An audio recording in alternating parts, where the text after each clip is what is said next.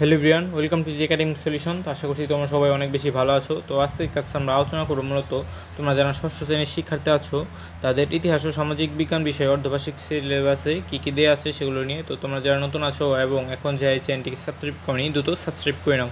কারণ কয়েকদিন পরেই তোমাদের ষান্মাসিক মূল্যায়ন অনুষ্ঠিত হবে এবং সেই ষান্মাসিক মূল্যায়নের সকল বিষয়ের সমাধানই কিন্তু তোমরা এই চ্যানেলে পেয়ে যাবে। তো চলো আমরা দেখে নিই তোমাদের কোন কোন বিষয় পড়তে হবে।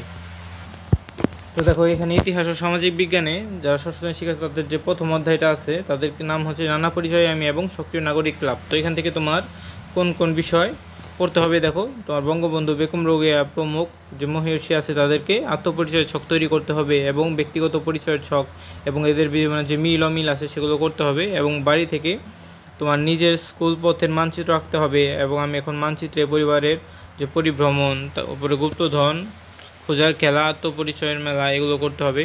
তারপর দেখো আরও কী কী করতে হবে? তোমার বঙ্গবন্ধু, তারপর বিভিন্ন মানসিক শক্তির তো বললামই। দলগত কাজ কী আছে দেখো? নিজের আত্মপরিচয় এবং অন্যের আত্মপরিচয়ের প্রতি করণীয় আচরণীয় ছক। এটা তোমার দলগত কাজ করতে হবে একটা, এই অধ্যায়ে। উপরে যে দ্বিতীয় অধ্যায় আছে, দ্বিতীয় অধ্যায়ে দেখো কী আছে? যে বিজ্ঞানের চোখ দিয়ে চারপাশ দেখে এখানে তোমার কী করতে হবে? বৈজ্ঞানিক অনুসন্ধান পদ্ধতি অনুসরণ করে সময়ের সাথে নিজ এলাকার পরিবর্তন অনুসরণ করতে হবে এবং বৈজ্ঞানিক অনুসন্ধান পদ্ধতি অনুসরণ করে সময়ের সাথে নিজ নিজ এলাকার পরিবর্তন অনুসরণ এটাও তোমার করতে হবে। তো এরপরে দেখো শিক্ষণ অভিজ্ঞতায় তোমাদের আরও কী করতে হবে? যে শিক্ষণ অভিজ্ঞতার নাম হচ্ছে কি? ইতিহাস জানার উপায়, বাংলাদেশের অঞ্চলের ইতিহাস ভূ প্রকৃতি তো এই অধ্যায়টাই তোমাদের কোন কোন বিষয় পড়তে হবে দেখো?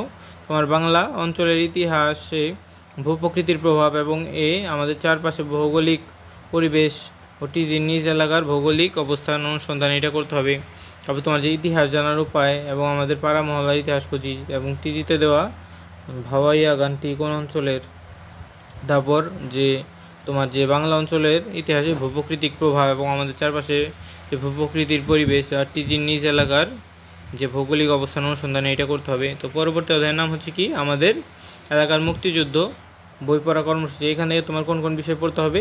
সক্রিয় নাগরিক ক্লাবের বই পড়া কর্মসূচির মাধ্যমে সংগৃহীত বই বা দলিল, দস্তাবেজ পত্রিকা ইত্যাদি লিখিত উৎস থেকে নিজ এলাকার এবং বাংলাদেশের মুক্তিযুদ্ধ বিষয়ে তথ্য সংগ্রহ করতে হবে। তারপর সামাজিক ও সাংস্কৃতিক উপাদান যেমন গান, উপস্থাপনা, তারপর জাদুঘর ইত্যাদি নিজ এলাকার মুখ্য পরিচয় এগুলোও করতে হবে। এরপরে দেখো কী আছে তোমার? সক্রিয় নাগরিক ক্লাবের বই পড়া কর্মসূচির মাধ্যমে সংগৃহীত বই বা দলিল, দস্তাবেজ, পত্রিকা এগুলো করতে হবে এবং তা নিয়ে বিশ্লেষণ করে অনুসন্ধানের প্রজেক্ট তৈরি করতে হবে। তো দেখো, এরপরে আরও যে পরবর্তী অধ্যায় আছে যে প্রাকৃতিক ও সামাজিক কাঠামো, এখান থেকে তোমার কী কী পড়তে হবে? অনুসন্ধানী কাজের মাধ্যমে সামাজিক কাঠামো কীভাবে বিভিন্ন সময়ের প্রেক্ষাপটে রয়েছে তা খুঁজে বের করতে হবে এবং অনুসন্ধানী কাজের মাধ্যমে সামাজিক কাঠামো কীভাবে বিভিন্ন প্রেক্ষাপটে এটা খুঁজে বের করবে।